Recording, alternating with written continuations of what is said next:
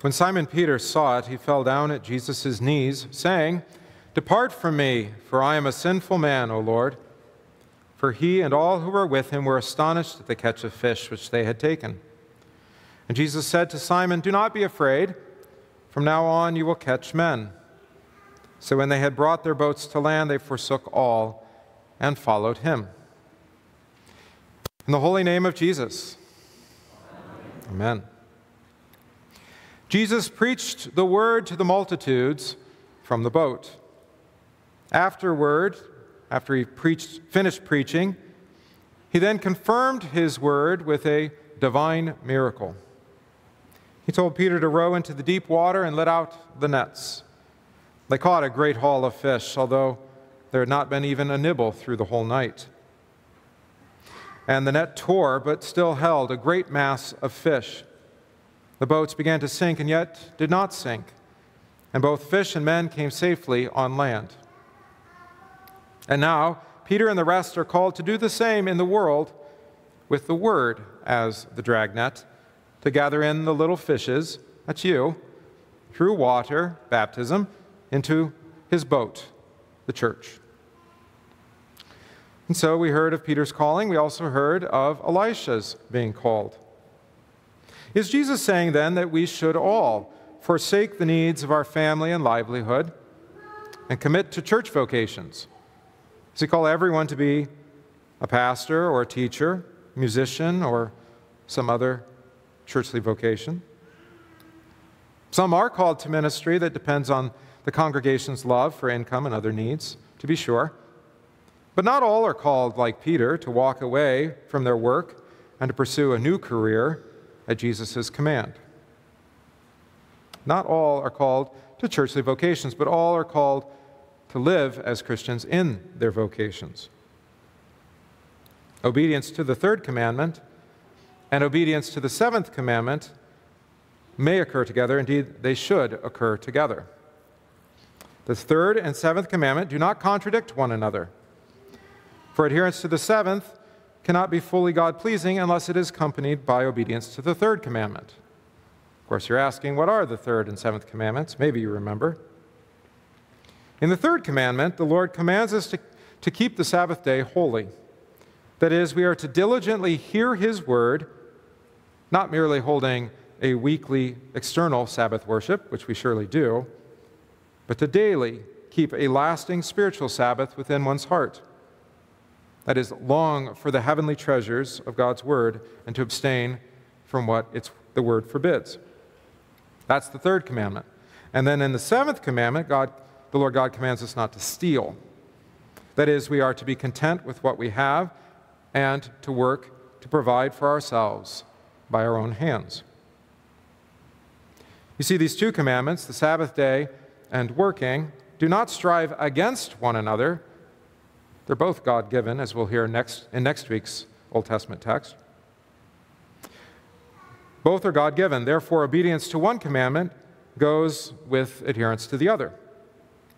Christians often gather together, even on work days, to hear God's word and to nourish themselves by it. Those of you who have farms know that, well, there's never a day off. But yet, you took time this morning to be here, to be nourished by God's word maybe even to give a miraculous catch like he did for Peter. Work in your earthly vocation does not hinder or harm attention to God's word, so long as you keep them straight. This is why Jesus constrained Peter to come on board to his boat and to tend to the fisherman's trade after he had preached from the boat. God has ordained that man should eat his bread in the sweat of his brow. Genesis 3. So that by working, our flesh may be tamed, and we are subject again to obedience to the Spirit, recognizing all things comes from the Lord. That which the Lord God Himself orders cannot be opposed to God. That which the Lord God Himself ordains for us cannot get in the way of piety or fear of Him. Our work cannot get in the way of worship. We must serve the Lord God in our vocation by true faith within our hearts, with godly reverence and love, by showing love to our neighbor, and by patient and humble expectation that God will bless that work. But also, interrupting our work at a special time to hear God's word is not the only way to serve Him, although He certainly gives us that. But even in the middle of our work, we can lift up our hearts to God and sing a hymn of praise. See what your coworkers think of that. or begin or end your day, your workday, with thanksgiving or in prayer. Or maybe you can multitask and you can listen to the recording of the congregation of prayer while you work, or use one of the many devotional resources, some of which you see in our bulletin. There's many ways to sanctify your day by the word so that you can even go about your work in the word. For by the divine word and prayer, all our deeds are sanctified, says Paul to Timothy. This view, when viewed properly, obedience to the third and the seventh commandments are in no way contradictory, even though we often set them at odds. For obedience to the seventh commandment, you shall not steal, in other words, you should work, is not wholly pleasing to God unless it is accompanied by attention to His word, the third commandment. As a matter of fact, if we are to feed ourselves by the work of our hands and to do so with joy and contentment, we have to begin and end with God's blessing. If God is to bless our work, then we, we must celebrate the Sabbath both inwardly and outwardly, weekly and even daily. Because breaking the Sabbath is actually punished by a curse. Peter first loaned Christ his boat, as we heard today. And then he caught the great haul of fish, even though previously he had caught none. What's the difference? But God's word. Therefore, take care first for your soul. Take Christ into the little boat of your heart and let him teach and work in it.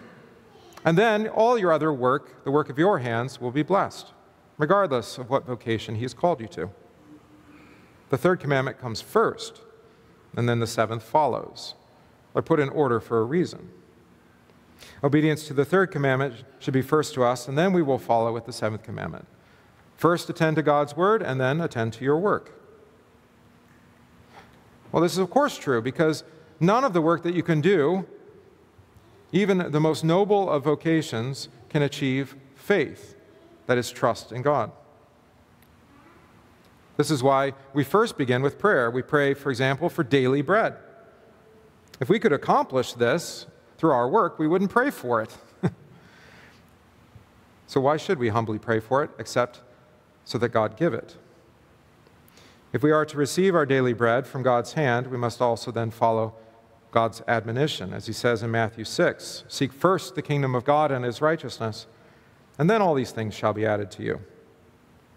God's kindness is the wellspring of every blessing, even the blessing of work, even earthly goods. Whatever is not drawn from the spring of God's word cannot be blessed. As the psalmist says, a little that a righteous man has is better than the riches of the wicked. Why is this? And it has to do with the heart. We can only accomplish our work, our daily work, if our hearts are set right by God through His Word. With prayer and thanksgiving, the righteous man has received the little he has from God. He knows it, he believes it, and thus that little he has is blessed and sanctified. Conversely, the godless, they build up a store of temporal goods by their own hands, by their own doing, often through illicit means, against God's will. And of course, then, lacking God's word, their goods cannot be blessed and sanctified and become a curse to them, like the dragon's hoard. The righteous man possesses the little he has with a good conscience, but the godless man suffers a constant nagging conscience. Tell me, who is actually the richer of the two? The righteous man who has little but has God, his greatest treasure, he is the one who is rich in God, and his work will be blessed. Or is it the godless man who does not have God's grace, and despite all of his hard work and his great wealth, is he not poor, even though he possesses a kingdom? For what has the man who does not have God and owns all things, but a guilty conscience and his sin? and thus eternal death and damnation. Essential to our daily life is a strong faith. And with that faith comes a longing for heavenly riches, for God's Word. And then also with that Word, we learn a profound disregard for earthly things, so that our heart clings alone to God as our greatest possession and treasure. As the psalmist says, Whom have I in heaven but you? And there is none upon earth that I desire besides you. My flesh and my heart fail, but God is the strength of my heart and my portion forever.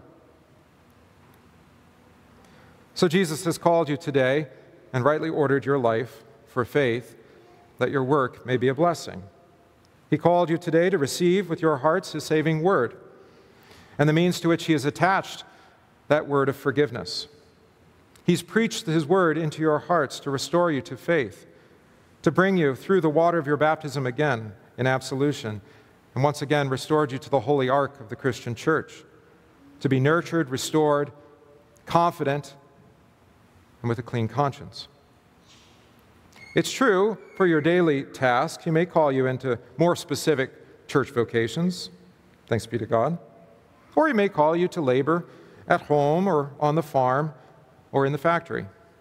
Regardless, with whatever task the Lord sets before you, remain in Jesus and his word, and everything else will follow and be blessed according to his gracious will. In the holy name of Jesus. Amen. Amen.